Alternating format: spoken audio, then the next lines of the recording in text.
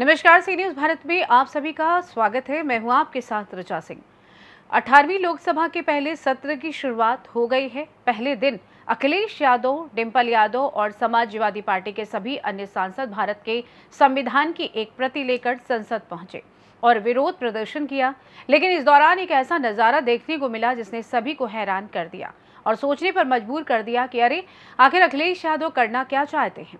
दरअसल जब अखिलेश यादव के साथ अन्य सपा सांसद सत्र में हिस्सा लेने के लिए जा रहे थे, तब सपा प्रमुख के साथ फैजाबाद से सांसद अवधेश प्रसाद पासी नज़र आए। इतना ही नहीं, जब अखिलेश यादव संसद में बैठे हुए थे, उस वक्त भी अवधेश प्रसाद उनके साथ बैठे हुए नज़र आए।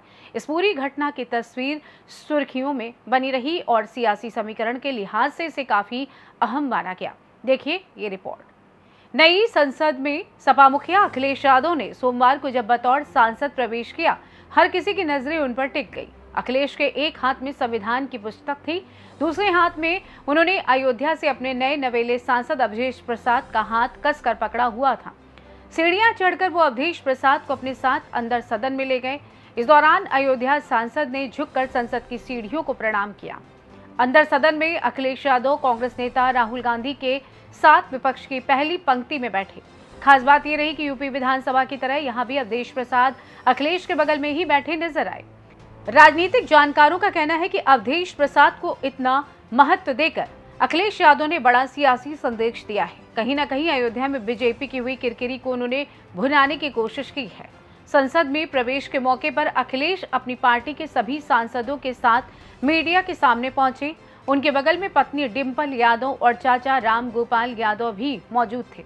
इस बीच अखिलेश ने पीछे खड़े अवधेश प्रसाद का हाथ पकड़ा और उन्हें सामने लेकर गए। उन्होंने सबसे परिचय कराया तो अवधेश प्रसाद ने हाथ जोड़कर अभिवादन किया।